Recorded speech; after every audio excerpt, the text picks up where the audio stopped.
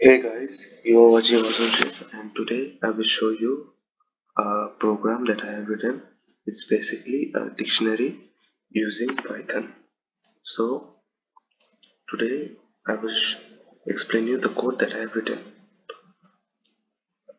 First I have imported a JSON library which is used to open JSON files.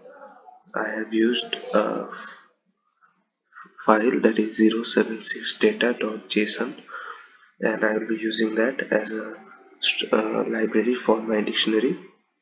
I have imported. So this is the all the dictionary words that will be used in my program. So first I have imported get close match function which will let me get a close uh, uh, if I enter a wrong word it will get me the closest right word that can be found in the dictionary. So first I have transferred all the data from the JSON file to a list named as data.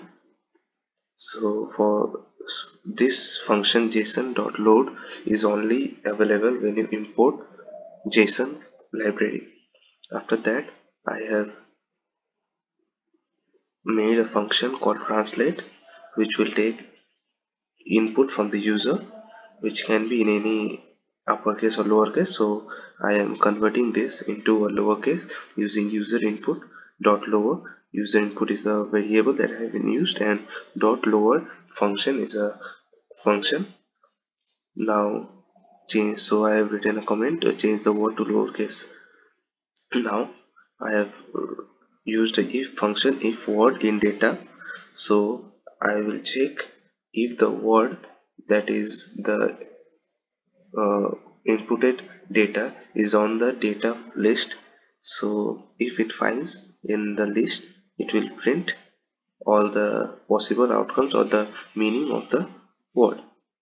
If the inputted word is not correct it will go to else if so it will I will then use get close match function to get the closest word that can be related to the inputted word. So after checking with if there is any match that's why I've used a else if condition if the length of the list that is created by the get close match is greater than 0 so if there is any possible words it will go into this. So it will print the word is not present in the dictionary and it will then print all the possible closest word. So after that I will input the right word. If it is found by the user did you find the word? So if he inputs the right word it will then check in the data list and if it's in the list it will print out the meaning.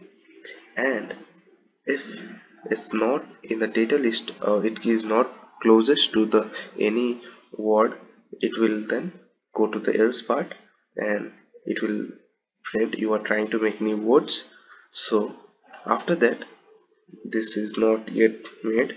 So I will be trying to enter new words to the list and enter the meaning of the words in the list and update the library if there is no such word inputted by the user. So I will show you this in working.